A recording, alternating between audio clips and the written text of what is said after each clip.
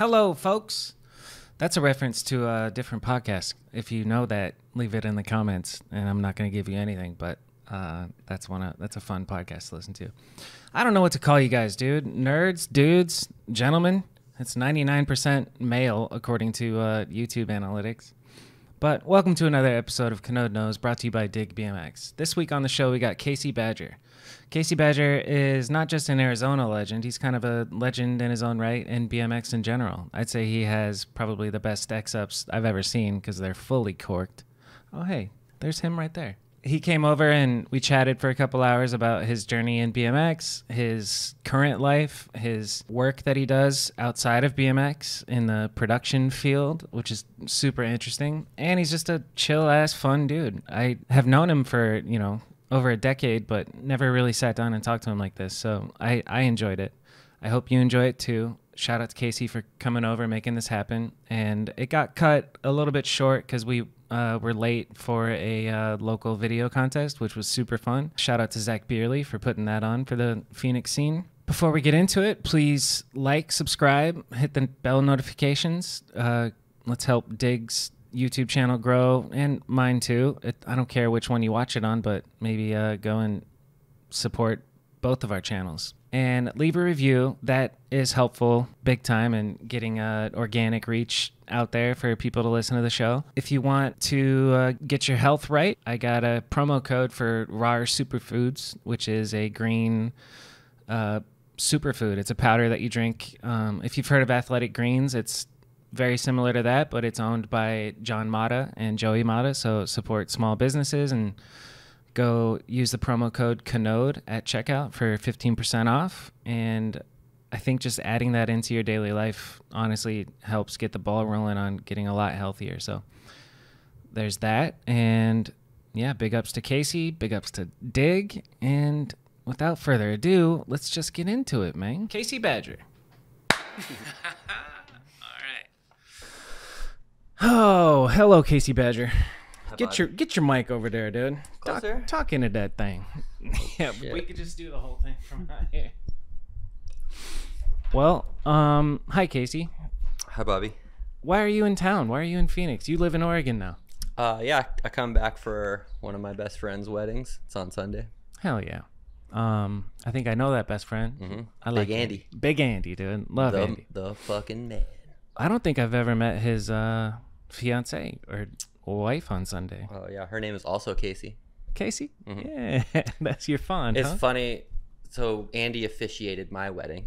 No shit. He called me quesadilla in the wedding. In the wedding. because he was so fucking nervous. Yeah.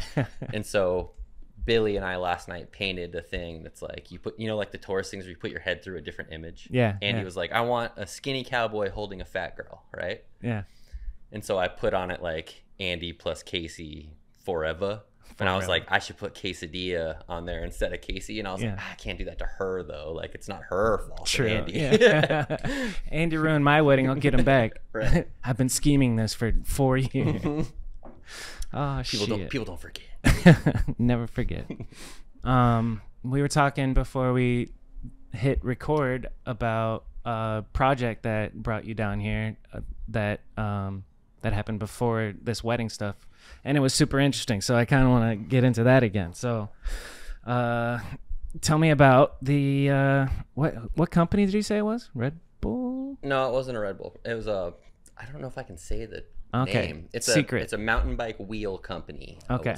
Um, yeah, I just basically like I do work for a production company called Modify Content, which we did Red Bull Dreamline, we did Tyler Fernengel Silverdome project, we did snowmobile events, and do So some dope. mountain bike stuff, like.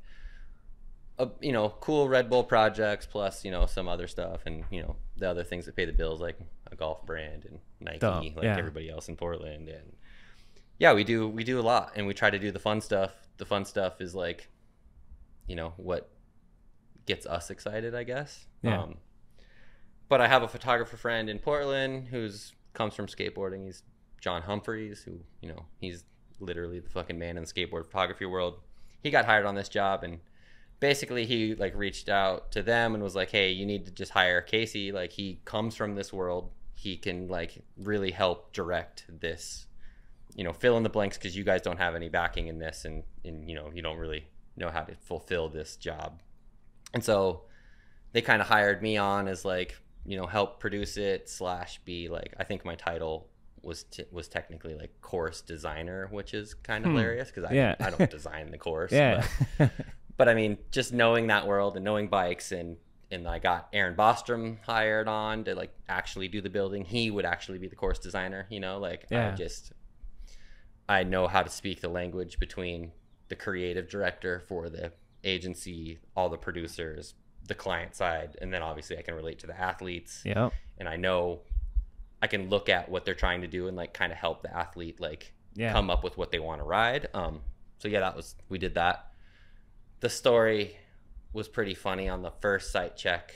So one of the athletes is Mitch Ropelato. He's a Ropelato. Ropelato. Mitch Ropo. He's he's a pretty entertaining mountain bike dude. Okay. As much as that pains me to say. No, I'm just kidding.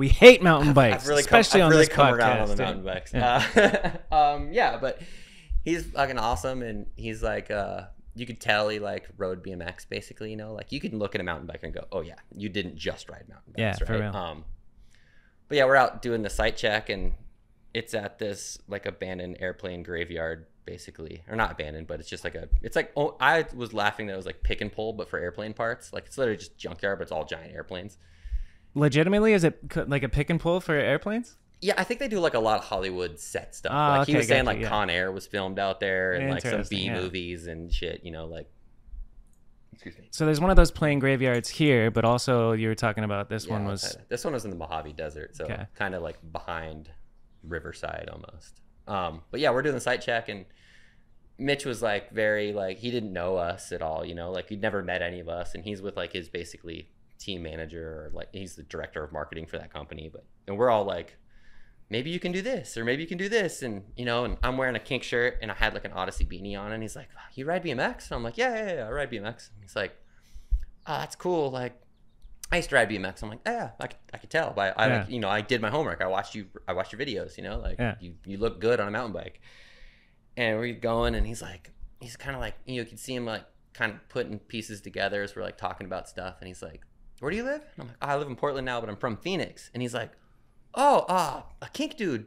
Just moved from Phoenix to Portland like not too long ago, like maybe like a couple years ago. He's like, I think it was Sexton. I was like, nah, Sexton lives in like Dallas now. Uh, and he's like, and he's like, no, no, no, it wasn't Sexton. It was um. And I look over and Humphreys is like holding back this laugh. You know, he's like, because he knows what it's coming. And he's like, it was KC Badger, and I was like, I'm KC. And then like instantly from that, he was like, holy shit! Like we did Hell a, yeah. we did a kink trip to Salt Lake years ago, you know. And he's like, I watched you and Doyle like walk through the park like into Layton, and he's like, I was like a 13 year old BMX kid, you know. Like so he's like, I just looked around and I found like the biggest thing that I knew how to do, and he's like, he threed this crazy gap at Layton, which is like. It's hard to even jump this thing, and he threed it, and he was this little kid, and I'm like, I fully remember that. Like, hell yeah. and I was like, that was you? And he's like, yeah. But that alone, like from that minute on, he was like, it like gained his trust in that, like, we knew what he could do and wanted to do. And it like helped the whole shoot out, you know, like, That's dope. could speak the language. And Can you share like what kind of? Because like, I'm picturing mountain bikes at a airplane graveyard, and I'm not sure. I mean, honestly, it was, you know, this shoot was mountain biking, but, you know, to Shad Johnson's argument, like, BMX isn't a size isn't a wheel size. Like it was a BMX shoot at an airplane graveyard. Sick, like we yeah. built a, a big hip. Like he wall rode the side of a giant plane. Dope. That's what I was And asking. like, Like, yeah, what- he did like kind of. Yeah. another big hip that he jumped over. Like basically like these stacks of planes that were stacked up. Yeah. And Jill Kintner, who is Paul Kintner, for everybody that you know remembers him from building the underground and old S and M dude, Pacific Northwest. But Jill Kintner's his sister. She's not even arguably the best female cyclist. I would even put her at any level. Like she's like 12 time world champ, No shit. like queen of Crankworx, like five times. Like she's a boss, you Yeah. know. But she was in it too. she was in that too, and so we were like finding setups. Like there was a whole like 747 that was like on its side and so she like rode down the wing like the whole wing it was super steep and she did like a cool step down like off of the nose of an airplane That's Like, dope. yeah it was super fun like and it was you know very produced you know like Yeah. had a whole grip team and lights and, Yeah. you know like Is there somebody hitting the slate for every shot? well, no slate. like motion kind of wrapped around the, you know, it was like still emphasis with, you know, motion was their, their deliverables were very small, but Yeah. still like, yeah, I mean, you know that world. Like it's hard to put them both in the same space, Mhm. especially at night. Like lighting is so different. Yeah. But I mean, they figured it out. Like That's dope. from what I saw, it all looked good. We are kind of we didn't get to watch all of the filming or writing. We were kind of like building ahead of what they were going to be doing or moving shit around. yeah. But yeah, I mean that. But you got it done. Sounds like you were the uh, producing translator. yeah, totally. like, BMX uh, blending the bike worlds. Yeah. It's wild how like you know, it's not like they're out of touch. They're just kind of ignorant to I guess the culture is is a weird way to like phrase it. Corporate creative people and then, you know, bridging the gap to someone who just rides bikes and has been doing that forever. Yeah. Like Ropo. I mean, it's crazy. Obviously, like we we are hypersensitive to any of that stuff because this is our life. You Yeah. know, like, and I and I mean that when I say life, like all of us, I feel like to a better part, like this is what we live for, right? Right. So like anything that doesn't represent us in the best possible light instantly gets clowned. Yeah. So, you know, to a creative director that comes from this big agency, like BMX is the smallest, weirdest world. Like, why? Why he doesn't need to care about it at all? Yeah. Like he did for the shoot, but Yeah. that's what he hires people like us for. You Yeah. know, like luckily there are people like us that are infiltrated into these worlds. You know, like Mm-hmm. That's dope. Let's talk about infiltrating into that world. Well, like I do. Basically, you're you're KC Badger. You rode for Kink for a long time. I would imagine anybody listening already kind of knows who you are. But let's talk about the your transition from being a pro rider to your next job. Like what? How did you get out of it, and what was your like first step in in in infiltrating the uh you know production corporate uh basically things that pay money type of work. I mean, I'll say I still don't really make money because I still just do the things that I I'm like fishing, to do. baby. yeah, fishing. Uh, no, I mean, I don't know. Yeah, the fishing thing is interesting because I fished when I was a kid with my dad a lot. My dad passed away when I was 18. I completely quit fishing, and then you know I was like 30 or maybe a little bit before that, like 28 or something. And I went on a camping trip, started fish, like went to my mom's, got all my fishing stuff, and was like, "Why the fuck did I stop doing this?" And Yeah. then like literally like it, it's like bike riding to a 13 year old, right? Like it just takes over your life. So Yeah. it's like any moment I could, I'd be going fishing, or I'd be reading about fishing. I'd be like learning how to tie flies again, and it was it was a weird combination of like sentimental stuff from my childhood, Yeah. plus like you know my passion shifting out of bikes, which I didn't think that anything could ever shift out of bikes, you know, fully, and all of that like encompassed into this weird world that I thought was completely different from bikes, but it's not. Like it's literally basically the same thing with a different medium, so to speak. Right. Um, but yeah, I just started doing that a lot, and like that kind of like bikes did for me, just naturally progressed into me like getting sponsored by a fishing company and like Which going so on dope. trips and like it was it was a very natural. Like I didn't try for that to happen. I didn't Yeah. try for anything in bikes to happen. I mean, maybe to my fault. It was just everything was just very natural and organic for how my life has worked out. You know, like not saying that I didn't like try is a weird word, but like I did, I wasn't like that wasn't my goal for anything. Right. Yeah. I'm Like, gonna become a sponsored fisher. yeah, exactly. Fisherman. like I, when I was a kid, like of course every kid's like, I want to be a sponsored bike rider. But Yeah. like at the end of the day, like sponsored or not, I was gonna be doing it anyways. Yeah. You know, like. But yeah, the fishing stuff kind of took off, and then you know with that, like I started getting the work through Modify, which was, at the time was Becomco. Um, like I helped him do Dreamline builds That's so sick. and kind of like learned a little bit of that like paul williams who's actually from phoenix too like he's one of my best friends and he owns the company and he kind of like you know he's like you have all these weird skill sets like you you're really valuable to us in a lot of this stuff like because i have an art background so i kind of help with like the creative concepting stuff like i So dope. storyboard out all the shoots and Yeah. You know like and, and again like with with a lot of this stuff like I have a weird knowledge and skill set that applies to this stuff. Like we do some fishing shoots and we do bike shoots, and you know, Paul rides bikes, and Yeah. we can kind of speak on all that stuff. I haven't seen Paul like in a- so long, Yeah, dude. I love that guy. too. Yeah, that's got a, dope. got a little baby now. Um, oh well, congrats, Paul, if you're listening. That's awesome. But yeah, it's, it was really cool. Like, and he was basically after that, like, I was working at Pasty here in town, like managing the Tempe store. I you know, remember this. Okay. And yeah. then doing that stuff, plus fishing all the time, plus still riding, you know, like doing a lot. And then Paul's like, you need to move to Portland. Like, I think we have enough work at this point, like, where you could just move here and just work for us full time. And I was like, nice. you know, I'd already been, I had started going to Portland for the summers when I was 21 until I was like 27 because Sure would Sure moved out there, Yeah. and he was like, the first summer he's like, "Do you have to come to Portland?" I'm like, "All right, Hell see you next week." Sick. so I always like always looking for a way back, basically. You know, like I love Phoenix and I love Arizona, but I couldn't deal with summers, Dude, uh, again, you you had it made. I mean, you were doing the right thing, s- being a snowbird, Sunbird. I always Yeah. call it Sunbird. sunbird. I like that. Yeah, it was, it was interesting. And then, you know, like the fishing stuff is interesting too because I basically got on officially with the fishing stuff because of my knowledge that I gained from bike riding. you yeah, know, I like- I was gonna ask it while you were talking about that. Like how how does one become a sponsored fisherman? What's the terminology? I did you see a clip of uh the the guy um or sorry, not guy, the they Sam Smith who did the performance at whatever Grammys. I saw a clip of them saying I want to be a fisher them. And I was like, "Whoa, a fisher them? Okay." So nice, what is the what's the proper terminology for being a fish catcher? uh, angler? Angler. Angler okay. is the Dope. gender neutral, everything That's perfect. encompassing. Uh, Yeah.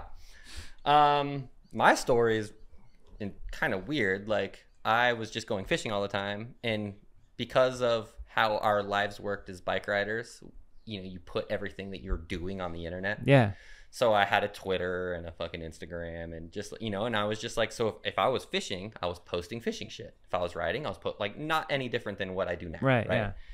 So I was working at my friend's clothing store at the time as well, Sunset Clothing Exchange. Shout out Angel. Shout Uh, out Angel. but yeah, I was pretty slow, and I got a weird Twitter message like, "Hey, I got a fishing question," and I was like, because I would get like, and it sounds bad too, but I would get like, you know, in between BMX kids like asking me for free bike parts, Yeah. I would get like, you know, random fishing questions too, and I would usually always field the fishing ones. Oh yeah, Be closer. I always field the fishing ones, just being that it was, you know, something that I was obsessed with at the time. Yeah. And so I was like, all right, what's your question? And he's like, hey, I'm a photographer. These are my clients. Like, I have a fly fishing shoot coming up. He's like, I saw your post and you don't look like a fly fisherman. So do you want to do in this shoot? And I was like, yeah. Sick. you know, so he's like, yeah, we'll fly you to Oregon. We'll float down this river for four days and, you know, we'll pay you whatever, you know, Fuck small, yeah. small day rate. And I was like, dude, this is crazy. I'm getting paid to go fishing thought that that was it, you know, and then it was for a year. And then a year later, I get a call from or an email from the brand manager of the brand, Redington, who I'm still involved with. And they were like, hey, we're, we made new products. Do you want to come do the same thing again on a different river? And I was like, yes. yes, please. And so during that, you know, having conversations and the brand director at the time was like, you know, how did your shit with BMX work? Like, you know, basically like, tell me how your sponsorship in BMX worked. And I was like, well, you know, like you start and you get some free stuff and then it progressed and we got like a little travel budget and then it progressed and we got like a little salary and then you get a signature part and it, you know, like yeah. your responsibilities kind of go up and I was like, I'm old, so we had print mags still, so we'd get photo contingencies or video contingencies. I remember photo contingencies, dude. Yeah, we'd get, you know, you get a logo and you get a couple hundred bucks or a burrito, depending on who the person was. Yeah. Uh, but yeah, I mean, so I explained all that to her and, you know, having bars and a frame and how involved, you know, Zach and Kink and Matt and Jay and everybody let us be with those products. Like, Yeah. really taught us, you know, I say us too, like Daryl Doyle, everybody, you know, that had a part is like you learn really learn how it goes from the design phase all the way through production That's to marketing amazing. and to all that stuff. And you know, so we we really did get a crash course in like marketing 101. Shout out Jay you know, for that. Yeah. That's awesome. And so going through that process, and she's just like, you know, and, and I don't think we give ourselves enough credit as, you know, BMX riders or, you know, as an industry either. Like, BMX industry is very progressive in its marketing because it's so it has to be grassroots. You know, Yeah. there's no money. You learn how to do everything on this crazy budget. yeah You're really asking a lot out of you know your employees or your team members or whatever to get all of this done for literally nothing. You Yeah. know? And it's not, and it's not because there's a ton of money in the industry. It's I mean that's just how it is. Like you have to learn how to get all of this shit done with very little. Yeah, for real. Send a whole team of six people, film a video, Yeah. get all the photos for the you know the uh, catalog for the year, all within seven days, and keep it under five grand. Yeah, right. and you're like, and, but as a as a 18 year old bike rider, you're like, Stoked, you're like, I'll yeah. do that for four bucks. yeah, like, for real. Sometimes that's your per you diem. know, yeah, totally for the whole trip, Yeah. And that's great, you know. But things progress, and you you tend to need a little bit more as you get older, and Yeah. you you know your worth. Yeah. Um. So you're talking to this Redington yeah, girl. and they're just she's just like, how do you know all this shit about marketing? Like, you should be a marketing director, brand manager, or something, you know? And I'm like, Yeah. I don't know, I just paid attention, I guess. Yeah. You know, like, and then ultimately she's like, well, all of that stuff that you did for the bike company, like, do you want to just do that for us? And I was like, Smart girl. yeah, Yeah. you know, like, and she's like, cool, I'll give you free product. we'll go on a trip or now and then, you know, like. Sick. So then you're a sponsored angler. And then I'm a sponsored angler, and that, That's fire. yeah, Has that progressed any further since then, or like, is there? Were you flow, and then now are you pro in your Mm. angler career? Angling? it's weird. So the the outdoor world is is different. Like the the only way that I can explain it is like bike riding. There's like a it's it is hard, especially for me saying this too. Like you have to be like you can you need to be certain good. You know, like Yeah. you need to be at a level. right. Whereas like in fishing, like you can be the best caster on the planet. It's all it's not up to you though. It's up to the fish ultimately, right? Like you're fooling something else that's living Yeah. into eating and that's and that's what is deciding your success. That's or if, and if that's what your success is. Like fly fishing is a weird thing too. Like to me, catching the fish isn't really that high up on the totem pole of what makes a successful day for fishing for me, right? Okay. But from a brand standpoint, like why do you hire this person?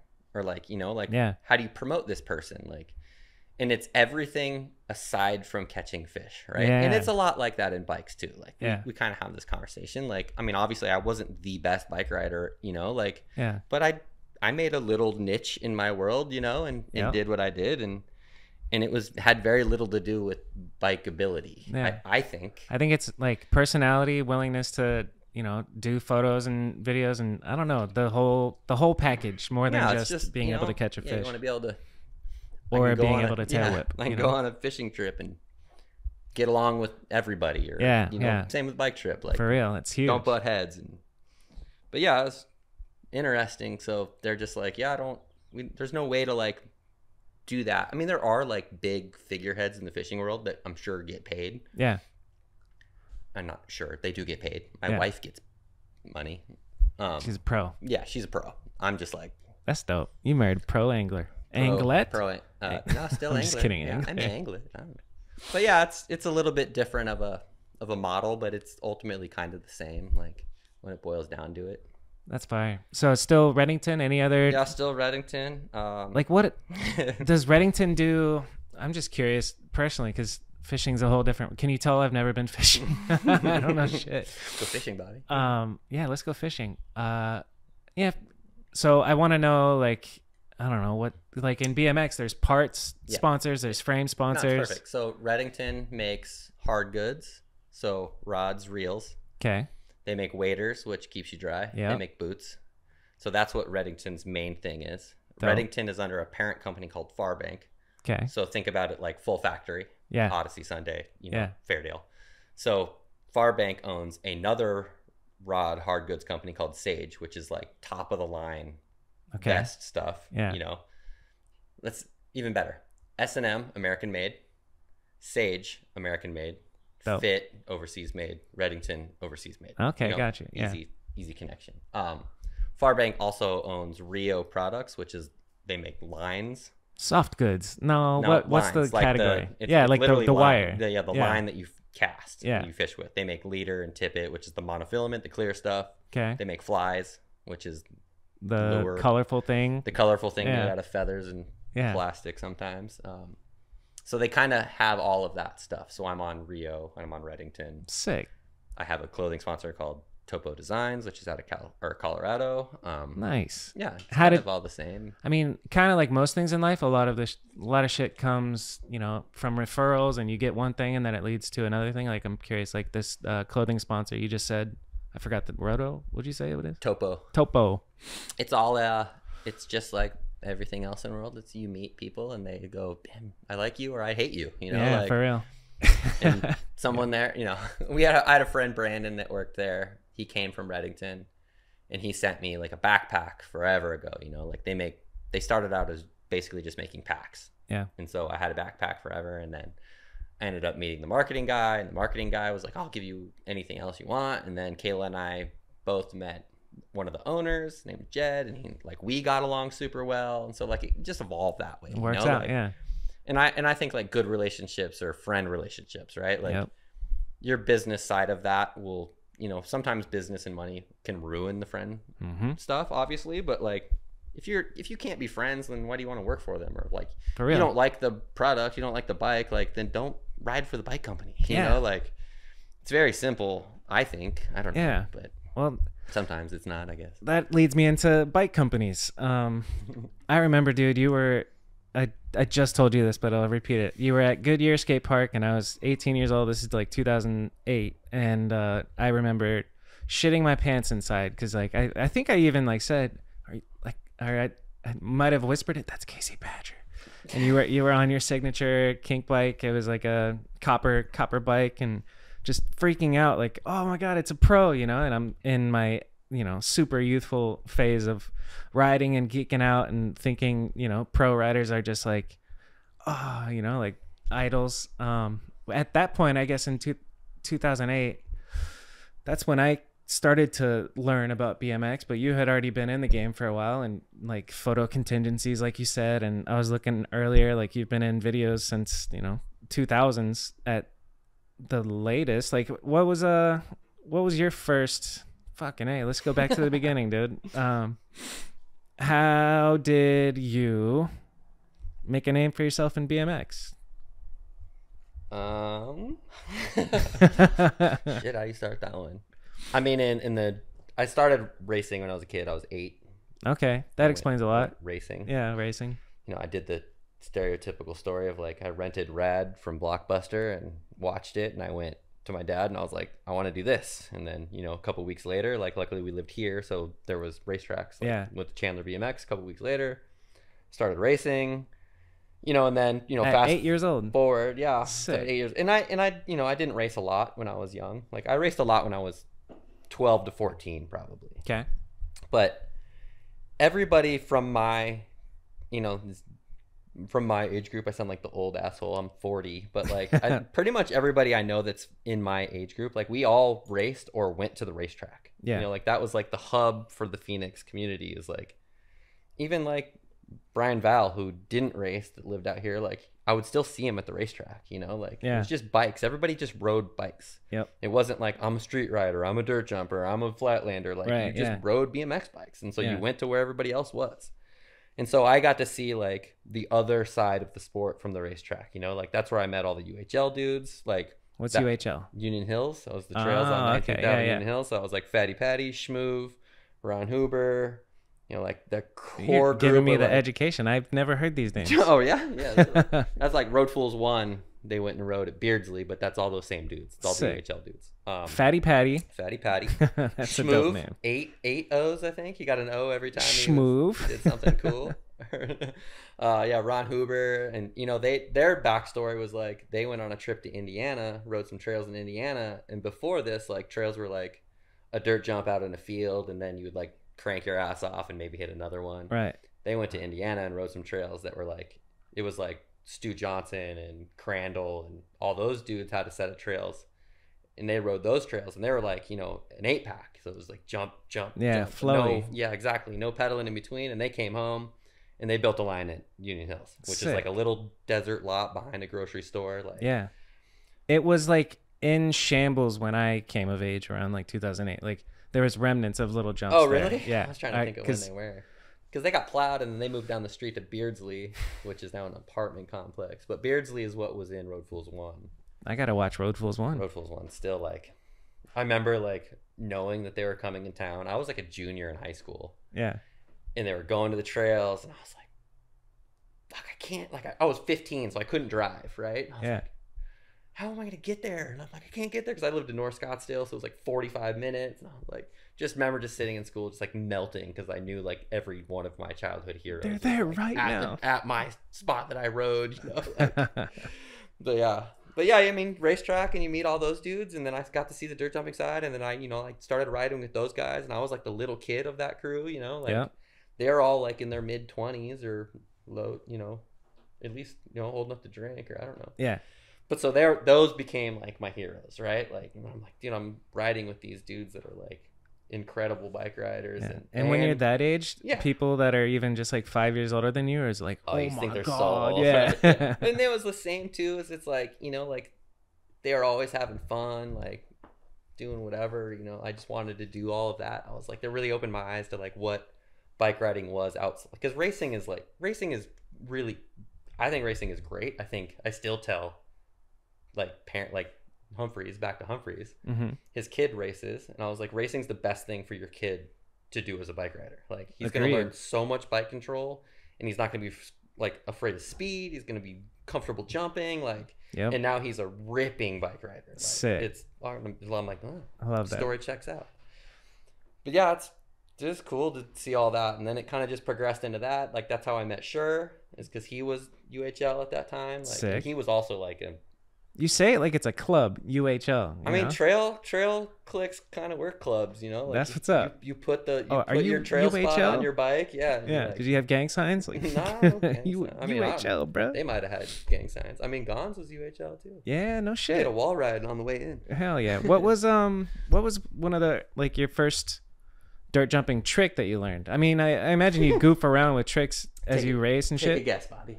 Um, X up. No, Uh, turn down. Yes. Yeah, sick. I learned turn downs actually right down the street from here.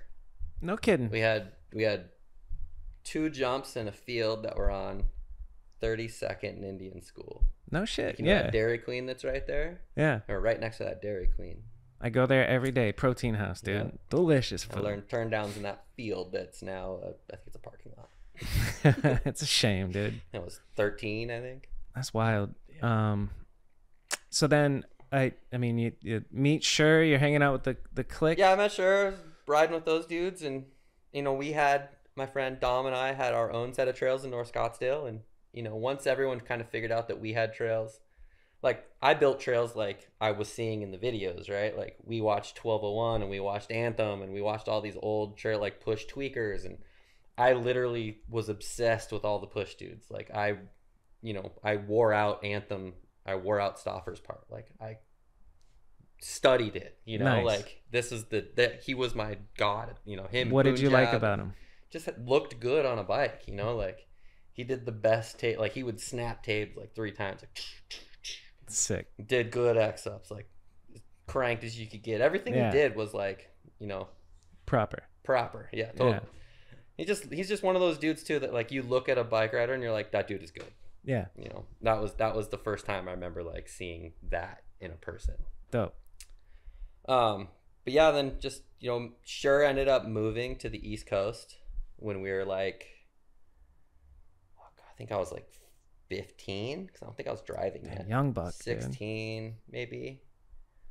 Um, Are you and Sure the same age? No, he's A little older? years older than Okay. me.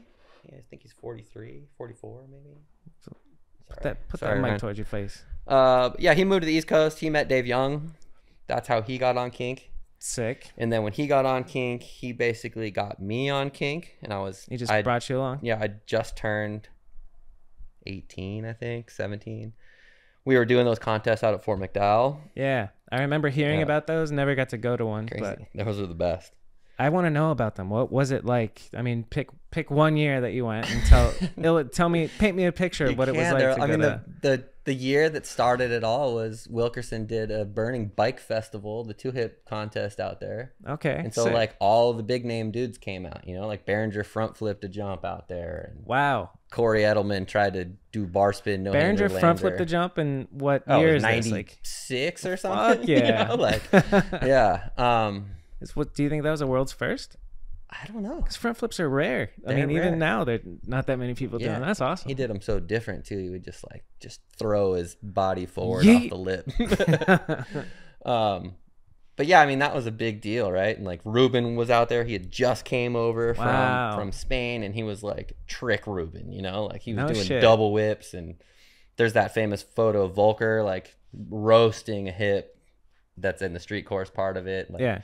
that that was like the first big contest that I went to, like seeing those dudes. And on top of that, it was like a huge party, you know, it was a Yeah. two hip contest. You Like, get to see they were the parties. BMX like you get to culture. see that side of yeah. it, right? Like, you know, I'd seen like some other people would come out because like the S and M dudes would come out, like Butler would come out, and Marvin would come out, and those dudes. But like just having like all levels of that level of bike riding at that place was pretty crazy. And then they would do the contest every year after that. It wasn't a two hip contest, but the Fort McDowell Indian Reservation kind of lumped it into their powwow fair ceremonies that they would do. Like they'd have a big festival almost, and They just kept the BMX thing pa- going. and they would just kept they literally just it was like they would do a powwow and native ceremony stuff. They would have like crazy black metal bands.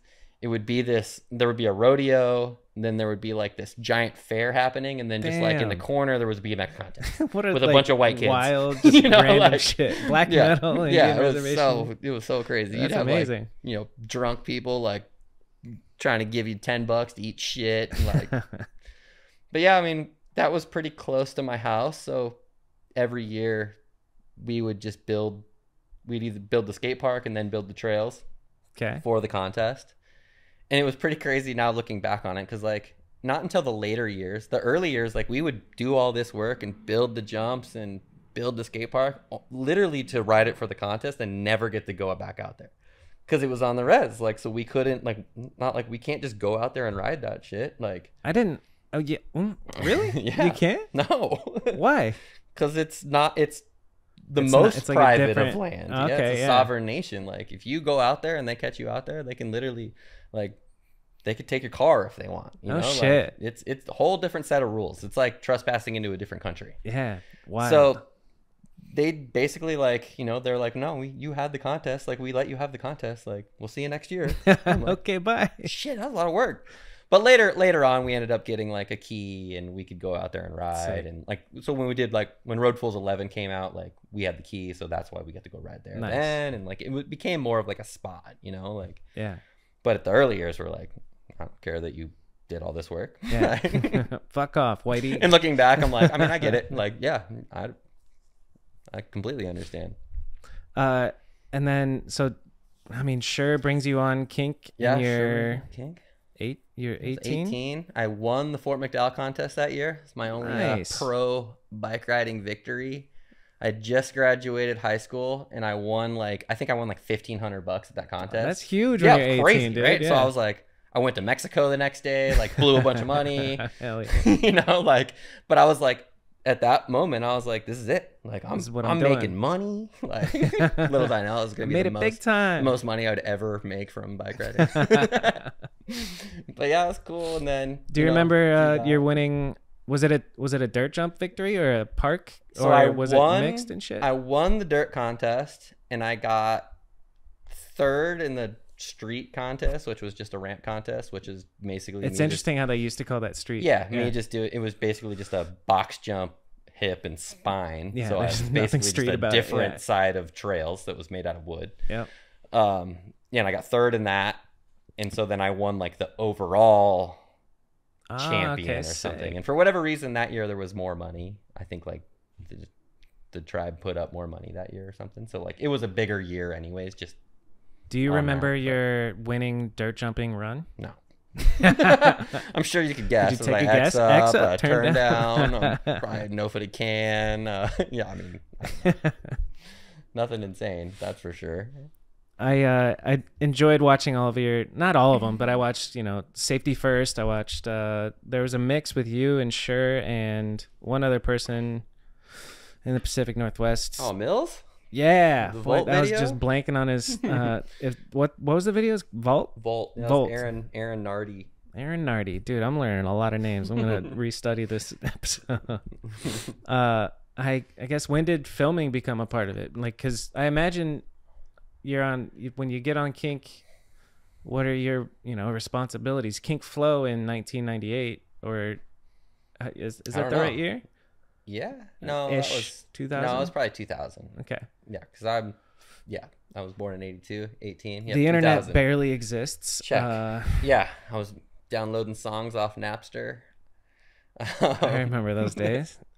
yeah, I don't. I don't know what res- responsibilities that I really had other than to like just wear the Rock stuff. their shit. and- Yeah. Like I, I mean, I even wrote an S and M with kink stickers on it for Nice. a while. I think a lot of people still do that. yeah, shit. I wrote a I wrote a challenger that I put kink stickers on it because at the time this was you know pre Freebird. You know, there was the revision B. Like that thing was forty pounds, and I was I was literally riding a race bike. Yeah. You know, so I was like, I can't ride this. thing. Uh, but yeah, it's cool. Like, I mean, and then from there, like it, photographers.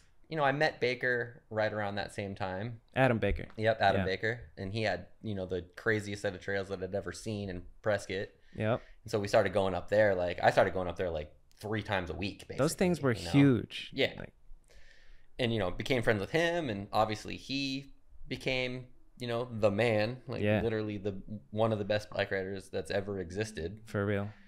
And you know, photographers started coming out. Like Adam Booth from BMX Plus came out. That was my first photo in a magazine. Was just Sick. riding with Adam at his trails. You know, Sick. like and What was the photo? it was an X up. Hell yeah. it was. Was it all the way around like yeah, you It was, it was shot from like underneath, and I remember being stoked because I had just gotten like a new. I was I was always like pretty into shoes, which is funny, but I had like just gotten a brand new pair of like Etnies Zars, which were like super cool at the time, and they were like huge in the photo. You know? Hell Like, yeah. Yeah, shoes look sick. You're like the photo's dope, but my shoes Yeah, look amazing. shoes look sick, you know? what are those? But it didn't say my name in or anything. It was like this weird little sliver photo that was like, you know, an eighth of the page. But I was like, dude, that's me. Fuck yeah, that's huge back yeah, it was cool. And then, you know, you met him, and I'd go on trips with Baker. Or, you know, Arizona at that time was already kind of a, a scene in its own right. You know, Yeah. because of Gons. This is and Gon's Rat Boy Rat era. Boy and yeah. all that stuff. And Ells it, and it yeah, it became like a, a spot and a scene in its own right. Like Road Fools kind of put it on the map in that aspect too. Like, yeah. What was your uh, first like kink official trip? Because like we all do the you know the young homie trip. So you and you and Baker travel into Yeah. whatever. We But just went to weird contest. was what was your first memory of like being I remember I on was a team trip? Yeah, I remember it was like finals week because I was in college, and this is the weird thing is I What'd always you said, study in college, real quick, by the way? Um, I have a degree. I have a bachelor of fine arts degree with an emphasis in drawing. cool. So he could draw good. I could draw good. Um, yeah, so I remember it was like finals week. It was like my first year of college, you know. So I was like 18 and went to New York, and I don't remember where we went though. Like I remember flying to Rochester, meeting Zach, and I had to borrow Zach's laptop because he had a laptop which was crazy at the time. Like I'm like, you have a computer that I can just bring with us, yeah. you know? And he's like, yeah. And I was like, cool. I need to write a paper on this trip. Nice. So everybody else is in the van, like partying, doing whatever, and I'm in the, I'm like the little kid on the trip. I'm not a little kid. Dirty Dan was on that trip, so he was actually the little kid. but I was like, you know, I was a young, dude. I couldn't drink or anything, so I'm just like riding in the van with the owner of the company, like doing homework, Just you writing know, about like- what do you do for a final for a fine arts degree with an emphasis Well, on it was, drawing? you know, you know, your under Are you study stuff is still like English and. you oh, still Oh, have to okay, do just like regular topic shit. shit, Yeah. I was gonna say like I, I'm just picturing you writing about like, well, a, a curved line can mean, you- emphasize. I had to do a bunch of art history shit that sucked. That's kind of dope though. I don't know. But yeah, it was it was cool, but I remember like just being like, you know, I can't not do the school thing. I'm like, I have to ride, but it was definitely like I should have seen it as a thing and then like to pick a side, you know, like Yeah, you can't half-ass. can't ha- and I feel I fully feel like I half-assed both things. Like it took me fucking eight years to get this four-year degree because I would go on trips, and Yeah. miss shit, and then I get dropped and whatever. And then at the same time, like I would say no to trips because of school, yeah, and I couldn't put like a hundred percent, you know, of my time and energy into bike riding like I probably should have at the time. Yeah. But at the same point, like I'm not the personality type that can only do one thing. So like if I wasn't going to school and riding bikes, I would have been doing something else and riding bikes. Or, Yeah, You know, yeah. like or you know, I always would have rode bikes even going to school, so I might as well have done it like I did it. But it Yeah. is it is interesting to like think back on like, damn, maybe I should have just said yes to every trip and Right, waited yeah. on school. That's what I was just about to ask. So, like, given life's great, you love where you ended up, Yeah. but if you could go back in time in a hypothetical different universe, what would you tell that 20 year old uh, Casey to do? Yeah, say yes to everything. Say yes to all the BMX I opportunities. yeah. still I still say that to like you know, I my wife's a perfect example. Like right now, she literally got invited to go to Mexico for a week for a fishing trip. Fuck yeah. And she's currently in New Orleans like at a fishing tournament and then she goes to Miami, so she would have to change her flight from Miami to Portland to Miami to Cancun. And she's just like that's just a lot and I'm like, I mean, yeah, but you're going to Mexico. I'm like, yeah, just say yeah. Figure it That's so later. rad. Your wife's a killer fisher, fisher angler. Angler. Yeah. But Uh, yeah, I mean, say yes to everything. Like, That's good not? advice. Like, there's so much. You learn so much more by traveling with your homies than you do. yeah, some of the school. smartest people Like, I know don't have degrees, Yeah. but you know, there's a benefit to having that piece Oh, of paper sure. that says, sure. "Hey, I can finish a project." Basically, that's what it is. It's like, Yeah. yeah. Um, I could be held accountable. yeah, exactly. Yeah. And I, I don't know, yeah, the value of a degree. What's that cliche that we almost just said? The half-ass. You can't, you can't half-ass two things. You have to whole-ass one thing. What do you know what I'm saying? What's I mean, the? that sounds cool. that's a, Whole ass. you got a whole-ass one thing. Yeah, that's true. Should have should have Um, taken that advice. Were videos a big part? Did you get to go on a Road Fools? I didn't go on a Road Fools. I mean, they did those few Road Fools that were in Arizona. The majority of the video, like Road Fools 11, was basically here. Yeah. You know, like, and so we were with them all day, every day. Like That's dope. Billy and I. Um. Billy, who would have like who runs the mag wheel? Yep. Spin, Sick. Spin Mag Billy. Yeah, Still one of my best friends. Nice. Um, I mean, videos were funny. Like, Wasted Days was the first video I remember like filming for, and it wasn't like, it was just like, hey, we're gonna film a video. Like, do you have a camera? And I was like, no. like, do you know anybody with a camera? I'm like, no. No, I'm like, fuck. I'm like, I think I asked for like a handy cam for Christmas or something. You know, like. Yeah. So my mom got me some little shitty handy cam, and that's what we literally filmed wasted days part with. Like Billy would hold the camera, or I'd put it on a tripod and push record and go do a run. Like Fuck yeah. and and you know, I was thinking about like how different video parts are now versus then. Like, and maybe it was just my mindset. Like, to me, a video part was like what you can do, right? Like, yeah. it wasn't like I feel like now there's a there's a video part writer that like will do a trick that they necessarily can't do. Does that make sense? Like, Yeah. If you try something a hundred times, you'll do it. Right. Yeah. I hope, or you'll die. That's a video part. you know, yeah, and that's a video part, that, right? yeah. Like you put in video part. Whereas, like to me, my mindset on a video part was like, this is what I do every day. So I do just documentary days, you know? type. Yeah, type exactly. shit, Like, yeah. film video part. You got it your deadline's in three weeks. Cool. I'll go ride the trails for you know a couple days. You Yeah. know? Like, and that's and that sounds bad, but like that's what it that's what it was. Doesn't sound bad. time, you yeah. know, like- it is what it is.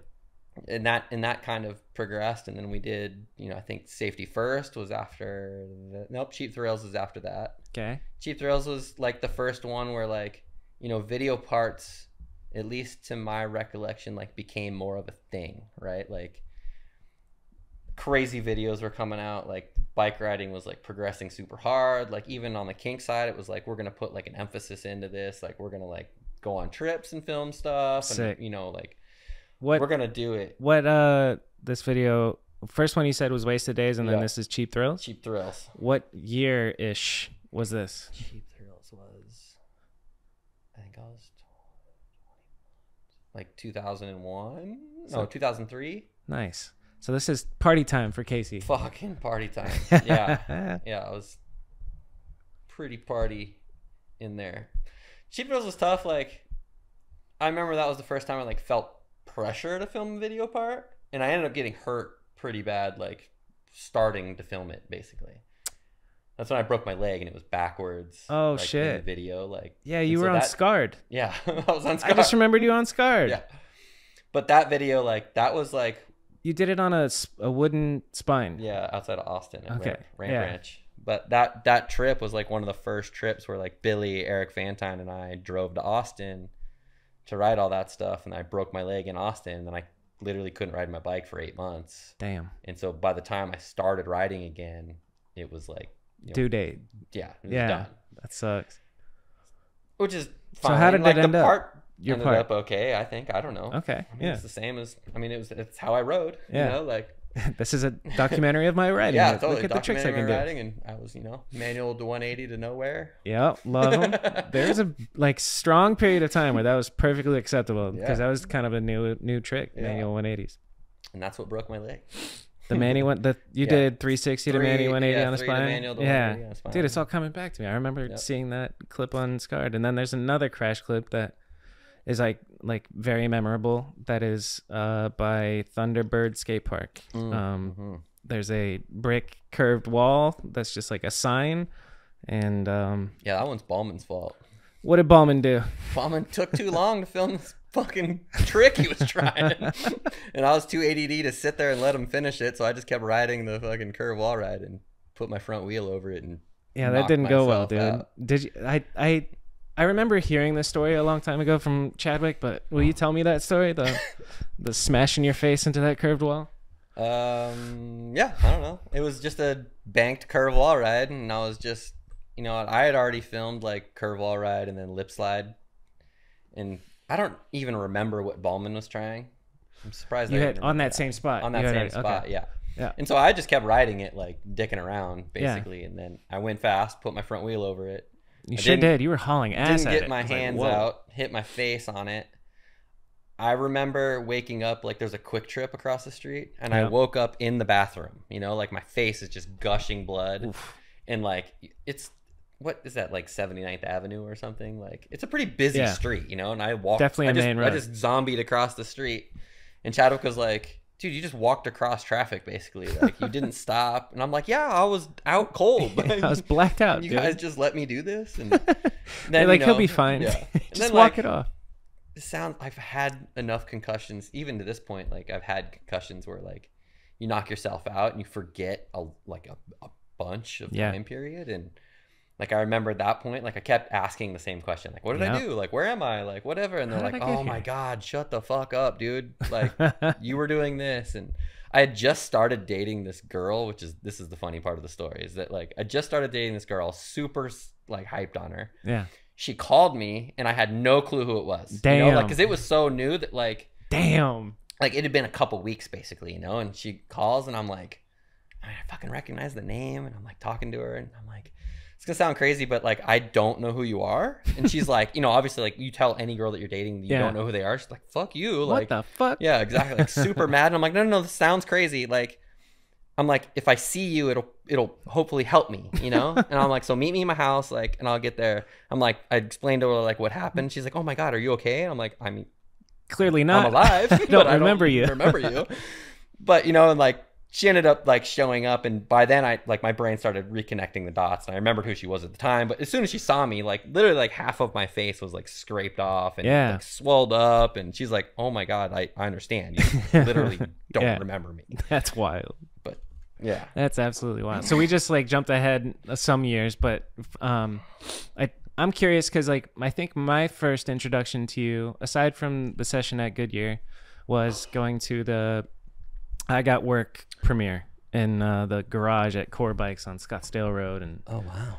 that was 2009 or 2010, I think. And that makes me wonder how long or when did you meet Chadwick, the the the lovely Ryan Chadwick, the Chadwick origin story. Um, The second so we best filmer grew in Arizona. Yeah, we grew up in like the same area of town, and yeah, I'm the same age as Ryan's brother, Justin. And so I knew Justin, who was like, he was always into cars. Like he had a crazy, he was in car clubs and had crazy lowriders and stuff. And I knew Justin, but he's like, I remember Justin said something to me. He's like, yeah, my, my little brother just started re- riding BMX bikes. And I was like, cool. you know, because Ryan's like five years younger than me. So I never saw them around. Yeah. You know, like and then he had this little maroon Astro van with BMX stickers all over it. And he and I started like seeing him driving to spots and stuff, and I was like, I wonder who that is. And then I ended up meeting all of them at like Paradise Valley Skate Park or something. Nice. You know, and then So you're even a generation like above Chadwick. Chadwick Yeah. looked up to you when. Uh, I mean maybe. yeah. I don't know. I would imagine so. He'd probably say say so. yeah, and then so that friendship, like they ended up going on a trip to Vegas with us, like Billy and I, and then it was like Nick Shest and Sam. Sam Burrows. Yep, Sam Yeah. Burrows. Uh, best man at my wedding. Best man. best man. Period. Best Sam. man, period. Sam. Yeah. Uh, Hell of a guy. so that whole crew, and then Ballman was kind of in that crew, Yeah. you know, as well. And we all went to Vegas, and I called them the Goof Troop because they were literally just goofy kids. You know, Yeah. like I was, I was the old, I, you know, at the time, I guess I'm still the old guy in that group. I haven't stopped aging, but I was like 22, and they were like 17. You Yeah. know, so I'm like, They're the little kids. and I was like, they were like my little brothers on the trip. You know, I'm like, this is how you, this is what you do. You go to Hard Rock, you go to the Circle Bar, you buy beer across the street, you bring it into the bar. You know, like, Yes. this is how you do Vegas, boys. like, Sick. welcome to being a BMX. but yeah, I got him into the random bars that I knew would let whoever in. And Is this just like, a random Vegas trip, or was this yeah, no, just Nora a, no, it's just a random Vegas Word. trip. Okay. I think we went and rode Skate Street and Rode the parks, and yeah, Yeah. it was cool. But it was that was the first time I remember like hanging out with all of them. Yeah. you know, like The I Got Work Squad. yeah, that I got work squad. And then I ended up like later down, like we became really good friends, and I lived with Chadwick and Sam, and obviously, you know, like we're all like tight friends Yeah, now. you guys are the- know, those are the like crew. Our, our best best friends. On that crew note, do you consider are you ditch? No, I never got kicked in. I've never got kicked in either, but I tweeted my way in, dude. I You kept, tweeted your I, way in. I pestered the shit out of them, and I was just they were just like, okay, you can fucking be ditch Kanode, just shut up. Better not let Frank know you get kicked no, in. he knows. Dude. he still owes me one. No, we were like we had a Billy and a few of our other friends. We had a little. We had a crew called the Daggers. Yeah. We ran like a website called the Dagger Zone. Oh shit! So this makes sense. Ditch dagger death Yep. race. Yep. Damn, everything's clicking. Yeah, dude. we did a. We, so your crew is the daggers. Yeah, we were the daggers solely because we at the time fixed gears were cool, and we rode fixed Mhm. gears to the bar. Um, there was another crew called like Hot City Destroyers, and they wore like I don't know. We just they're they were our friends, but like you know we're shitty BMX kids. You know, like we're gonna make fun of everybody, so we're like we need a tough name. Like we were watching Thrashing a lot at the time, and we were the daggers, and That's fire. then we that's when the death race started it was we did you know the fixed gear race slash party that was solely because billy found all these crazy spots and he's like we could do an alley cat race and it's going to be insane It's, and it became so insane. So let's Yeah. Explain. So ditch is a crew mm-hmm. of friends that originated in California in a literal ditch, and then I don't even know the whole history and shit of it, but a lot like Bay Area, I think. Does that uh, yeah they're like right? south of bay like salinas So, then Frank moves out here from Mhm. there and just carries on the ditch. They all have like legit ditch tattoos and that was all their Twitter handles was ditch Frank, ditch this, ditch that, and I thought it was so cool. I didn't know about the daggers, so that's an interesting crew name. And then I just hear about this like super gnarly famous race that all the hip people are talking about. Like it it brought it was like the subculture in Tempe, Arizona of like the dagger death race. What I never got to go to one, dude. oh bummer Tell me about it, ditch dagger so death race. the death race was an alley cat race so if you're not familiar with alley cat racing it's like a fixed gear race that you know came from bike messenger world Okay. So you get a manifest, which is basically your stops. It's kind of like a scavenger hunt Yeah. slash, you know, race, and in it, you know, in a traditional sense, it's how well you know the city is how Dope. how you can win these things and That's how cool. fast you are, right? I didn't know that this type of race exists. That's They awesome. still have Alley cat here. race. Yeah. yeah. Um, yeah, they're cool. They're, it's like a cool subculture. Like that's what was cool about that world to me at the time was this stuff. So we are like, we can do this. Like we we're BMX kids. Do we know crazy spots? Yeah. You know, like and we we literally did this to just fuck with kids that rode fixed gears. Like everything was to fuck with them. We built like a fucking bridge that went over the the creek at the wedge that had a giant roller in it that they couldn't get over without pedal striking so they would fall in it we made like a bridge like traded that rode across the pool. Like we made one of those in our friend's pool. We filled the pool up with dry ice.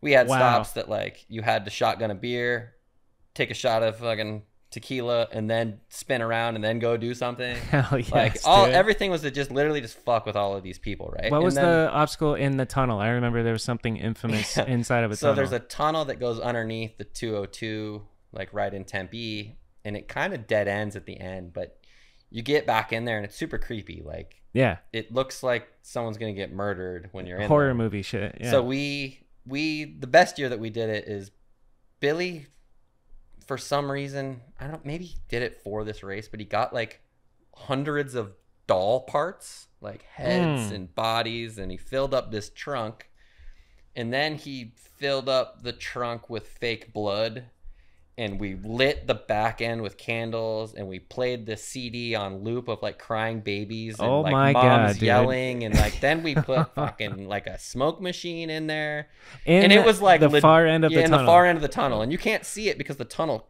turns a little bit so it's like Fuck. you can see the light when you're in it and then you turn around the corner and you can't see anything and it's pitch black Yeah. and then you come around the corner and you just see this like Alter. murder scene basically yeah and so we did that and like you you know at every stop you had to like get something you know so it was like grab a baby doll Bobby part and bring Yeah. that with you and we had like there's like a cemetery in tempe and you had to take a tombstone rubbing of one of the graves that said gone fishing and there was like just funny little things Yeah, like dude. that and like Fuck. I wish I. and then it ended up at like a giant party like we would go to we would figure out a bar that would like basically let us do it Right. or like at the time angel owned the clothing store so we did it at the clothing store a couple times like Sick. but it was like you know, it just became such a thing in tempe that like not was only was like there was there was more than 100 people that would do the actual race every year Right. it would take us weeks to fucking plan and set this thing up Yeah. it became this like whole event basically that like you know And we were the just surrounding parties yeah, too. and we just we were BMX kids, so we'd like thrown jams and contests, and we like knew how to do that stuff. But this was like to a different level. Like we got bands to play. Like It's so dope, dude. we we the last one of the last years we did at the bar, like we were having a meeting, like a sit down meeting at the bar about like doing the event there, and they're like, well, yeah, like how many people do you expect to show up? And I'm like, three hundred. And they're like, well, how much beer do you need? And I was like. Literally as much beer as you can get, and they're Yes. like, "What do you mean? Like, I'm gonna get like, there's no way you'll run out of this beer." And I was like, we will. Bet. you know, like like you don't understand how much BMX dudes can drink, and then Did you it end get a lot of them together. Is that what you're saying when you No, say the it bar? ended- it, the place was literally called the bar. the bar. It was on Apache and like Terrace. Was it the? Mm, maybe what it's called maybe I'm tripping, but it's really shitty dive bar. Yeah, it was a shitty dive bar. I think I sure. might know what you're talking Yeah, about. but it had room for all of us, and That's fire. yeah, it had a DJ. I love that. How and- many years did you guys keep it going? Because it was a Halloween event, no? Yeah, it was always around Halloween. We did it for seven, Seven years? years? straight, dude. at least six, because I remember Dagger Death Race six six six. That's fucking awesome, dude. Yeah, it was it was cool. I mean, I look back things. like we still joke about it. like we should do it again. I'm like yeah, none of our lives are set up to like yeah. For real. do this free event. We're basically. married and- yeah, Yeah. I'd have to like come back into town for a month and we'll leave that to the youths. Yeah. They got to carry the torch. I bet there's some shit going on like that. oh, there's there's still Some- alley cats. Like Yeah. there's Heavy Pedal, which is in town, and Yeah, and they they've them. done one, and State Bike Company that's in town kind of asked permission for them to do the death race again. So did Heavy Pedal. Did you grant them? Yeah, we let them. I was like, I mean, please, someone should do it. Like, Who was the head honcho of this Dagger Death thing? You? Were you the No, it was it executive was producer? It was I a group effort. It was a group effort, but I would say honestly, most of it was Billy's ideas. Nice. And then like me, Brandon, Frank, like we would all do it. You Yes. Know, like, Sick. and it became like a giant. It was like a giant art project slash. yeah, you know, dude. it was it was a lot. But luckily, there was ten of us doing it, so That's amazing. yeah, it worked out. Pause real quick. I gotta pee real yeah, I gotta pee too. Pause. Resume. Resuming. Hey, welcome back from our piss break. We actually have only 30 more minutes because uh, there's a video contest going on at Spinelli's that Zach Beerley's putting on called the Phoenix Winter Classic. And uh, four crews made videos, and I get to go be a judge. And I'm bringing KC with. Cam, bringing KC as my special guest. He'll be my uh, consultant for co- or judging. better better see some trails gonna- clips. Yeah, I want to see some X ups, biatch. So in light of our time crunch, I I want to talk about some things. First of all, Oh. uh, we did talk about your kink early years, which is cool. I want to know. Just give me one, because I remember. I know Ryan Sher had a real party phase, and I want to know. Just give me one Ryan Sher party story. Nothing that'll get him trouble, get him in trouble, but oh, hates. I worked for the guy. He hates this story, but wait, was this is a Portland years? But okay. Ryan's like the happiest person on the planet most of the time, and when he's drinking, he's like he's like a little kid. He's like running around, like whatever. yes, we are partying with this girls that we knew from Portland, and we're at one of their houses, and I don't know what the fuck he thought he could do this for, but they lived like above the subway basically, and there was like a stair set that went up, like kind of like a porch kind of deal, and then her kitchen window sat right there, and we were leaving to go to the bar, and this is keep in mind this is Portland, so everything is pretty much wet always, and so instead of just going through the door, I think he decided that he was just going to jump out of the window down onto the patio. And so he jumped out of the window and he landed, his feet slipped out. And he like, and it like has, he fucked his back up. He couldn't ride for weeks, Damn. you know? And he, it's, his back is literally still fucked up. And he's like, it has to be from that. shit. You know, like, but it's it's like the roller coaster of emotions. You know, like Ryan was like ripping to like some dumb idea, like, and it was literally nothing. It was just like a freak accident that like it was like a three foot drop basically, but he just landed and slid, and he's like, "Why did I do that?" Yeah. You know, like because I was drunk and happy. drunk and trying to jump out of a window. I guess. You know. That's a that's a good, relatively tame, Yeah. sure story. I love it. I was uh so the other thing, I love your signature parts being named the Lost Dutchman, and I'm wondering if you can tell us what is the Lost Dutchman, you know, briefly, but like how did what sparked your interest in it, and what is it for people who don't know? Um, yeah, it's like a whole. I think this was like you know going to art school and knowing marketing a little bit, like I did at the time. Um, Yeah. comes all full circle, but you know, I had a whole idea for what my signature bike would have been called. You know, like originally my idea was like something like I wanted to like rip off an old mongoose logo and call it Badger. You know, like Ah, that, that seems that. like it yeah. would work, right? But when I got into it, I was like, I wanted to give Arizona love. You know, like I love Arizona. So the Superstition Mountains are, Yeah. you know, not right next to where I grew up. I technically grew up on the McDowells, but I spent a lot of time in Superstitions. Like we go on hikes, Beautiful mountains, go fishing, man. and yeah, that's where Four Peaks is, no? no Superstitions is like just East Mesa. It's that Yeah. big crazy red mountain.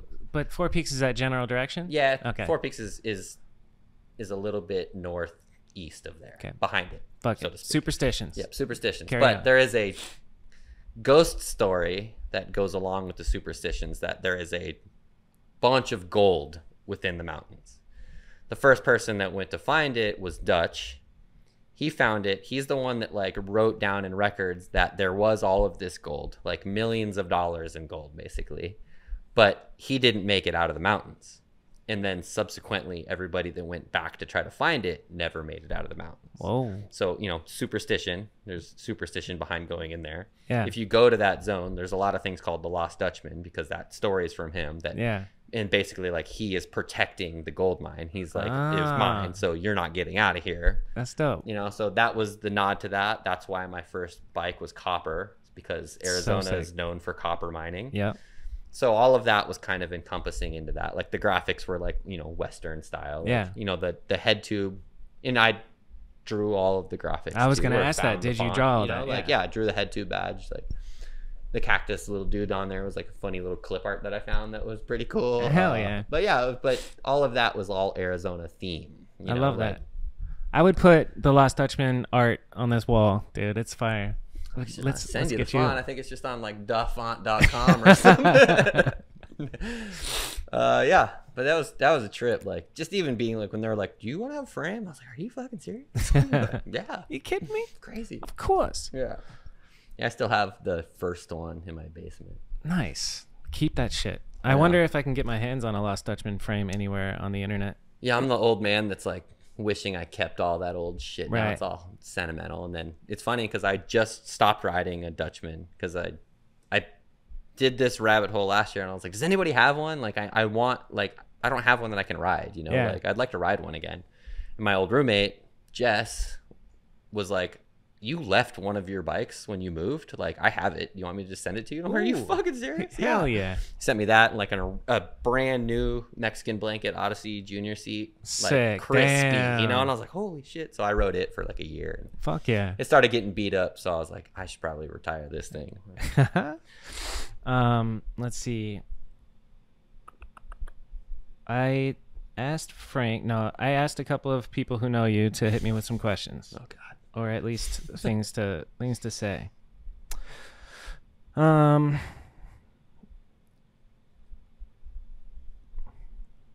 Did you ever have any legal trouble with your bars at Kink? Mm-hmm. I The- have the Badger too. bars. Yeah, the Badger bars. The first sticker of the Badger bar was Bucky the Badger, the University of Wisconsin Badger. Yeah. and I flipped him, changed the color of his sweater, changed like a little bit of something in his face. Yeah. Like I, I knew the ten percent rule, but it wasn't enough. Basically. What's the ten percent rule? I don't it think I was something like you need to change if you're going to like rip off a fucking company, Mm-hmm. you need to change it by ten percent for it to be like That's a small else. amount. That's yeah, that's it, it wasn't very yeah. much. And and don't quote me on the ten percent. It's I'm sure it's like ninety percent or something. But ten Something. percent was in my head. You know, I was like, I don't need to change it that much. Like, it's fine. And I was like, it's a it's a you know recognizable thing. It's a badger. Like, how can you know the Yeah. bars didn't even come out and we got a cease and desist. Like, No shit. Wild. I have the sample gold badger bars with that sticker. The only sticker that I'm aware of because I'm sure Zach had to Stop burn them all them. Basically. Yeah. So I still have that stuff, but Those bars were iconic, dude. I remember going into Gordy's when I was younger and just seeing the Badger bars. They stood out. I don't know the the gold, the gold shit is fire. And then the story behind the next sticker is pretty funny. Um, it is like obscure movie called "It's All Gone." Pete Tong. You ever watched that movie? No. Oh, so the premise of the movie is basically like a an electronic DJ goes deaf, and he like figures out how to play by the sound of his, you know, or like the The vibrations. vibrations and Yeah. stuff. But he's also got a raging cocaine habit, and so when he would be like fiending for cocaine, this giant badger would come out and beat the shit out of him and like literally like hit him with a shovel and like force feed cocaine into him. So the badger bar sticker on the second version of the bars was the coke badger from Sick. it's all gone Pete Tong and he's holding like a little because he's if you look at it, he's wearing like a pink dress like that's what he was wearing in the movie you know like Fucking a, that's awesome. Uh, the, okay, so do, do, do, we got more. Uh, Sher said the first time that you rolled up to Union Hills, you were riding an aluminum Powerlite with clipless pedals.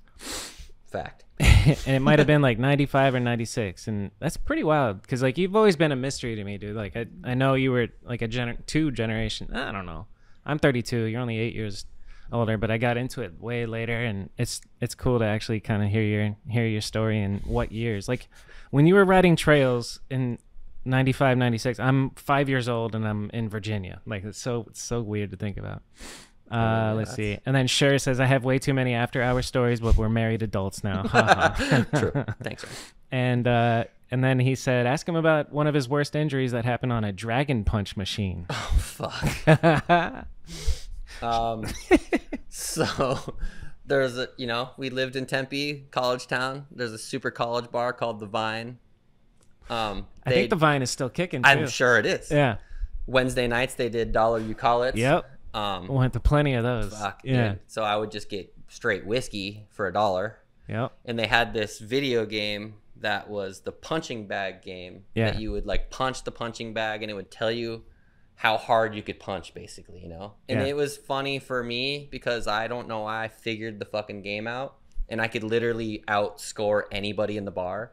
Nice. So like fucking giant football ASU dudes would come in. I and got they would you, go bro. to punch it, and I would step up and just beat their score. Like Fudger and I, a few times almost got the shit kicked out of us because we would hustling. we could hustle the Dragon Punch game, you know. yeah. But the story that Ryan, the injury that Ryan is talking about is that I, in a drunken stupor, was like, I'm going to cut out the fucking middleman. Instead of punching the bag, I'm just going to punch the sensor.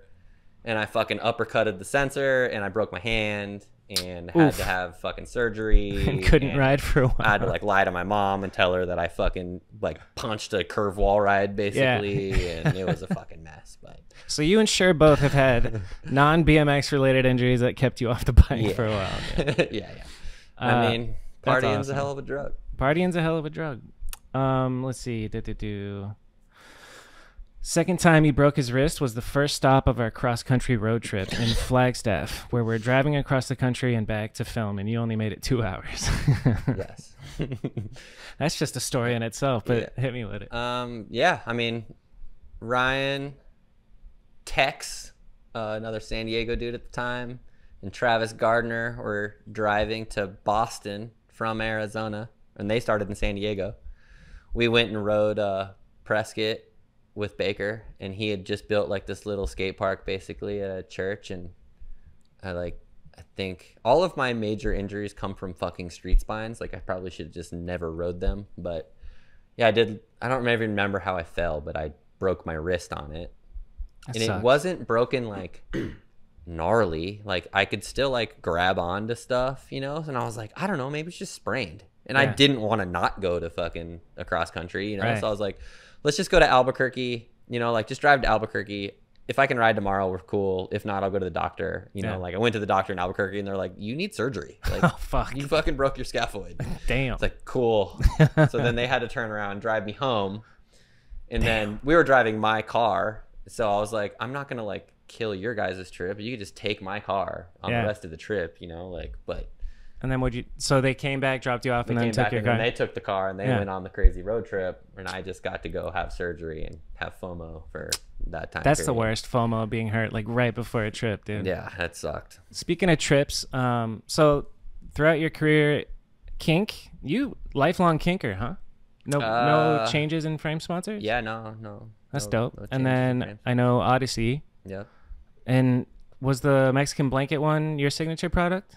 Um, yeah, it was like Gemini's idea. The Seafoam and Orange Junior seat was was mine. Then I had Yeah. a snakeskin one. Yeah, the snakeskin one. I remember. That's fucking Yeah. rad because that went with all the other shit that you had from yeah, kink. yep. You're a very artistic, uh, artistic guy. But the question I'm getting at is basically like, what crew in a van that you've ever been with was the most fun? I imagine Sher's got to be in there, and you know, Dirty Dan maybe. But like, do any trips pop into your head of being in a van with the best guys? I mean, And who are the best guys? yeah, I mean the the the the kink crew that I think that everybody thinks of when they think of kink nowadays. Yeah. is is, that crew to me. Like Sexton. yeah, Sexton, Daryl, Doyle, Tony Hamlin, Aaron Smith. Yes. like you know. Oh my god, it makes me feel good just Yeah. thinking about those, Those, are, videos. those are like, my brothers. You, you, got like- to go to Taiwan and yeah that's like when all kink like with j rowe like walter was usually the filmer on those trips and like you know jay somehow convinced zach that we needed to go on all these fucking crazy trips And So we went to australia for three weeks and new zealand for a couple weeks and taiwan and they went to eastern europe and i was still in fucking school so i couldn't go to Oh, eastern europe fucking hell. again this goddamn uh, art you degree. know? dude. it's goddamn drawing degree. but yeah, I mean, those are those are the you know, in in trips of that length with that many people and in you know, you get extreme highs and extreme lows. Yeah. You know, like you see the best and worst of everybody. But yeah, those trips are literally like traveling with your best friends. You know. magical moments. Yeah, magical moments, and the stories that we fucking have from those trips are insane. Yes. But let alone the videos are insane, man. Those those were iconic. Those were like Yeah. I think about how much fucking partying that we did on those trips, that how those videos even got filmed is insane to me. You know? that's the best, man. When you're young, you can just party and I then still go out and do stuff the next day. so. Not no more, man. I Mm-mm. can't do that. I drank two beers, I'm hungover for two days. Yeah. Honestly, like even when I was younger, I couldn't keep up with like LaShawn and Kyle and Wong. They could Kyle would just pass out, blackout drunk, snoring in a sleeping bag, and then wake up the next day and get clips like it's nobody's. Same with LaShawn. Like, Yeah, the first night I Didn't met Kyle it. was at fucking Hanford House with because San Diego yeah, and Ryan and Fudger and they all lived in this house with Gary that had the mini ramp in the backyard, but they'd have the they had the literal craziest New Year's Eve party I've ever been to. Like there was holes getting kicked in the wall to outside. Like bricks were getting knocked out, like fucking fireworks. The backyard lit on fire. But Kyle did Edward 40 hands and he taped his fucking 40s to his hands and he started clapping like a No. fucking crazy person. Like, Did he "Who shatter him?" Crazy? Yeah, he shattered Oh him. my god. Fucking passed He's out of a corner savage, with dude. like broken glass taped to his hands. Like, Yep, and then I'll get up and ride the next day. yeah, Absolutely wild. kill it. I'm sure he probably could have got up that night and killed it. Um, yeah, uh, that dude. I just got to ride with him and his kid the other day, and his kid's a tough son of a cookie, dude. Imagine Whatever, like, um, yeah, imagine that. It's in, it's in the genes. Uh, he, so it's it's Crimson and fuck, I'm drawing a blank on his on his son's name. Um, but his son is on is on a bike, a very small bike, and we went to that little colorful park I was talking about, and he didn't know that the up ramp oh, I saw didn't that. He go filmed down. it. Yeah. Uh, no. No? No, it wasn't filmed. I just Oh, watched it and it it. seemed like it was in slow motion because like he almost made it and then just went over the bars and smashed his Ooh. face and he's bleeding from his mouth and he's crying and I got to watch Kyle be in dad mode and just console him and like give him options like, hey, we can go home or we can tough it out. It seems like you're all right. And then like 20 minutes goes by and the kid's up and ripping again. It's Yes. so beautiful, dude. Dude, little kids are so rad in that. Like, Yeah. we have a, a friend in Portland that his kid is five and he rides the jumps with us. You know, like he's Sick. this little tiny kid, but he did he landed super flat on one jump and like fully hit his face on the crossbar, like split his eyebrow. He's bleeding everywhere, you know. And he looks at his dad and he's like, "I'm going." Sean's like. You can't see out of your eye. Like we're going to the hospital. and he's I'm like, "No. Dad, I'm gonna keep riding." He didn't, like fully didn't understand why he couldn't ride anymore. That's amazing, dude. Kids are tough, Yeah. and they're just like built of rubber. All right. Are you? Do you even? Do you? You don't have a kid? No, no kids, no plans. No plans, no No. kids. Uh, let's talk about. So you mentioned Stoffer earlier. I was gonna ask, like, who do you think is your biggest influence early on? And uh, Mm. yeah, who was your favorite rider growing up? Yeah, that's that's the hard one because it's like I would I would love to say all those video the dudes I saw in videos, right? Because those Yeah. those are your you know as a kid you look up to them the most because they're untangible almost. You yeah, know, what and I'm you're a kid. Like, a everything's kid, right? impressionable. But like honestly, the like the UHL dudes to me, like Fatty Patty and Schmoove and Huber and Ryan and Vowel and those dudes to me were the most impressionable because I saw them and I got to interact with them. But Yeah, but I did like you know like I said, I wore out Stoffer's video parts. Like I Yeah. was obsessed with Punjab. Like obviously like Aitken and I are basically the same age. Yeah. We rode together a lot when we were younger too, because he was also a racer. nice. He was way faster. So you knew me, Aitken before most people. yeah, he like you knew would him come from to racing. nationals here. Sick. but yeah, like he, I, I mean, obviously, like everybody, like we all looked up to Mikey. Like Yeah. even as a racer, he He he, had, had something different. Yeah. you know, like he was the fucking. I mean, he is the fucking man. Yep. Yeah, those do like, and then you know, meeting Baker. Baker was insane to me because he could dude. literally do any trick that he wanted, Yeah. which I couldn't understand. Like Yeah. he's like, "Oh, I'm gonna go do a double whip," and I'm like, "What? Two? The song "Floating," the floating Yeah. is playing in my head while you're talking about him. Mm-hmm. That's a beautiful Yeah." thing. And then he just decides he can do tricks both ways, and I'm like, "You're insane." he is insane. I always laughed because I'm like, I rode with Baker. I probably rode with Baker more than I've rode with anybody in my life. Maybe Billy, but I would still. Baker is probably still right ahead of Billy. Yeah. But like he does so many tricks, and I do no tricks. you know, like we go ride the trails, and he do like. 'cause In Baker's the kind of dude that he would do every trick he knew at the trails every day. Huh. Like he would suicide double truck every day at the trails. wow. He would three double whip when he knew him every day at the trails. Like, that's why he's so good. you yeah, know, for like, and I'm like, well, I fucking do a turn down. Do you, do you keep in touch with him? Yeah. What's yeah, he? still talk. He's, Does he still ride at all? yeah, yeah, Baker? he still rips. Sick. Yeah, he's living in he's living in Denver and kind of working with Cody Landers doing they do a thing called the Jump Doctors. Jump doctors. Yeah, they build bike parks. Sick. So yeah, he's doing that. That's very cool. yeah, Oh, that's that reminds me of another question that I had to ask you. Um, there's some dirt park in Oregon that you're Oh. battling with the government for. Not the government. Um, the president of the United States. the president of the United States. No, Portland bike. Anything bike related is ran under a nonprofit called Northwest Trail Alliance. Okay. and it's basically just a bunch of bicycle activists that don't necessarily know anything about the world that we need them to know about to make things that are good to ride. Mm-hmm.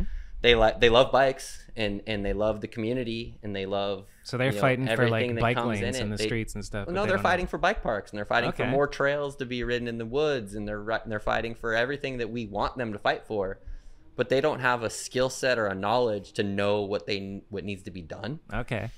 Or what at, as to what level things need to be built to to like be attractive to people outside of the city to Right, give yeah. kids that are living in the city some progression to go towards like we have a black jump line right now that is literally you know like i said we ride with a five year old Yeah. and he rides that jump line Oh, And shit. we have a six year old Yeah. that is doing tricks like and they have nowhere to progress towards right Hmm. but to this to northwest trail alliance and their board members that that this is like the craziest jump line they've ever seen you know and i'm like you, got, you have no like Yeah. you need to look outside of your little bubble Yeah. and like you have a wealth of information within our community you know like with brian barnhart's in town and he's like an original caddy dude and james is another original like east coast trail dude and like we have like this information of people that they should be like Yeah. and they kind of are but they're at the same point they're like kind of half-assing it you know like we're we're allowed right now to like help rebuild this section and we literally digging with rocks Yikes. you know i'm like fuck So and what? they- i don't know they've spent a fucking boatload of money like mil- literal millions of dollars on a bike park that is half rideable Damn. So it's it's it's tough because there's a lot of politics involved and and obviously like I'm passionate about bike riding and and selfishly like I know that I have a very small window of like time that I can ride at the level that I can still currently ride at. Right. Plus like I have a vested interest in like my homies kids that are like I'm watching them like progress and then Yeah. they get to a level and it's a hard stop because they don't have anything else that they can ride. You know, Portland is a lot like Phoenix and that it's growing so fast that like our trails got plowed and, and Yeah. it's you know like and, and and it's we don't live in that world where like you should have to go break the law so to speak to build trails that For are real, good. yeah. Like we have cities that are spending millions of dollars on bike parks and places for everyone to do this stuff. Right. They just need guidance on how and what they need. And that's know? where you come in? Is that That's kind why of where Frank brought I it up? come in. I mean, I'm just more or less like frustrated with the organization and, and the cards that we've been dealt, and and they're not. And it and maybe, and I'm probably going about this the wrong way because I'm like fully just throwing them under the bus and talking shit to them.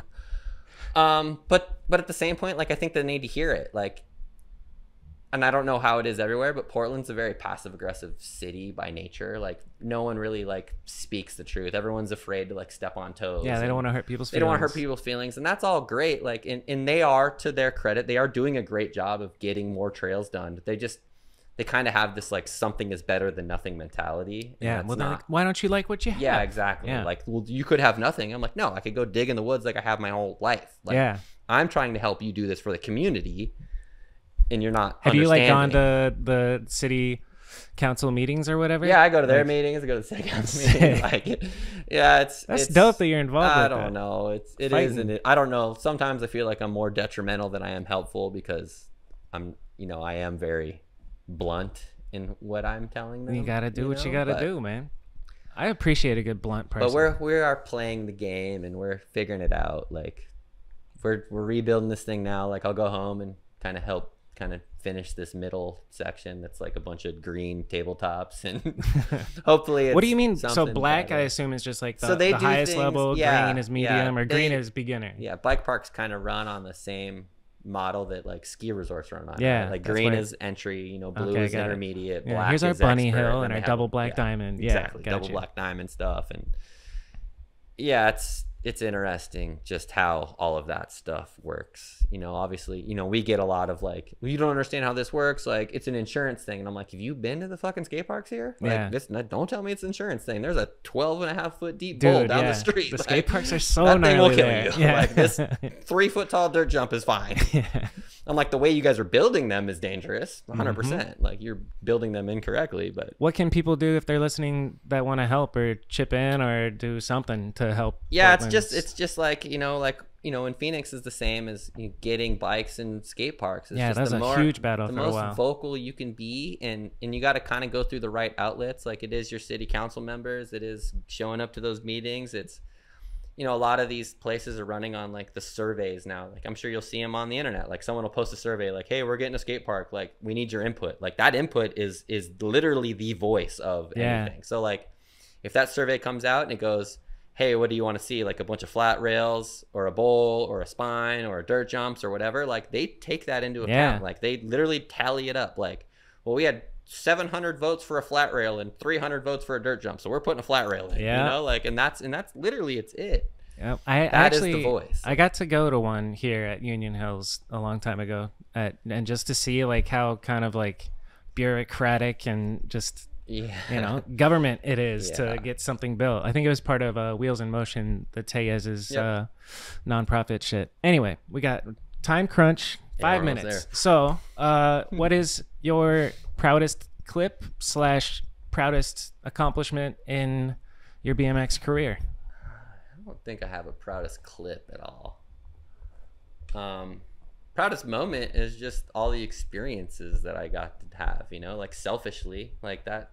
To me, I learned so much by going on all these trips. Like literally, all of my best friends came from bike riding. Yeah. Just, just BMX is a entity I owe so much of my life to. Like that's that's what I get out of this, and that's I mean, go back to the bike park stuff. Like that's that's what I want to like show in kids and everybody coming up is like, you know, like there's not you're not going to be rich from this sport, you know, but like Yeah. you could literally have the best time of your life and meet the best people you'll ever meet, and you can travel the world and you can have all these experiences because of this kid's toy, basically. Yeah. You know? like Facts. that's that's what I got most out of this. That's pretty good. Okay. Uh, if you had to pick one trip to relive, what trip would it be? New Zealand, New Zealand. yeah, Sick. that fucking trip was fucked. I've never been to New Zealand. I've been to Australia. I mean, but- New Zealand is like as a bike rider for the things that I want to ride. It's Yeah. like heaven. Oh shit, it's they do it. They're big big jumpers out there. Yeah. Crazy trails. Yeah. Like it's in paradise, you know, like even now, like as a fishing thing. Like I would go fishing, you know? like Yeah. it's the most beautiful place I've ever been with the best things to ride and all the locals are the fucking best. That's you know, dope. like it's all like a bunch of fucking trail dudes. They send it down Yeah. under, dude. God, kill it. Um, I can't think of their names, but I see them on I see them on Instagram, and they're going like three stories high on every single dirt jump. Yeah, dude. All Uh, the backbone dudes are sick. Backbone, shout out Backbone. um, so ch- let's do a two two different Mount Rushmore shit. Mm. Mount Rushmore of trail riders from KC Badger himself. Aitken, Stoffer, Punjab, Baker. That's it. Fucking five. Oh, that's it? It's Yeah, only four? four, yeah. Oh, good. Good, we're done. There's a lot in here still, but yeah, okay, cool. Keep going, keep going, so people can look up trail riders. Foster, you know, BF. I mean, Mhm. Nutter. I put Nutter on the list because Nice. he's a fucking ape that no one even realizes how crazy good that dude is. Uh, Clint, Clint, yeah, Maddie, like those are the modern dudes that are, you know, the best. dope. Okay, and And then then you can keep going for fucking ever. just all-time BMX riders, Mount Rushmore. I mean, it's probably not much different. Yeah, I know you love trails, Yeah, but Aitken, BF. Like I feel like what BF continues to do, even Yeah, as a dude. doctor, is insane. longevity. Um, yeah, I mean, I think you know, as a on a bike riding entity as a whole, like Edwin changed the game. Yeah. so I'll put Ed on the list for sure. Um, people that I like watching ride still, like the whole Fast and Loose crew. Like I'd Yeah, put dude, they're so Corey sick. on that list. all right, boom. There's your. Mount Rushmore. Cool. Corey Walsh, Edwin, BF, and Aitken. That's a That's a pretty. that's a fun list. one. I love it. Okay, and then tell me about some riders that I don't know about that I should know about. Um, I mean, fresh off the top of my head is REA. If you don't know REA, REA. yeah. No. Um, he's Ripe Life on Insta. Ooh, that sounds familiar. Yeah, he's he's on S and M.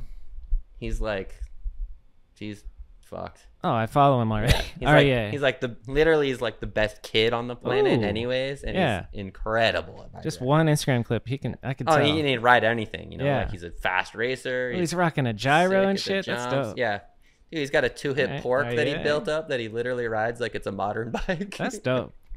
yeah. All right, he's, right, he's? Yeah, Anybody REA, Um, just trying to think of like some Northwest local homies, boys yeah. that don't like Draven is fucking sick. Draven. Yeah, I don't even know what his D-R-A- A V E N. Draven.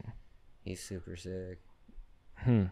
Um, yeah, I don't know. I mean, really just ride with like we have like a good crew of old dudes at home. Do you know that- Draven's last name? No. No.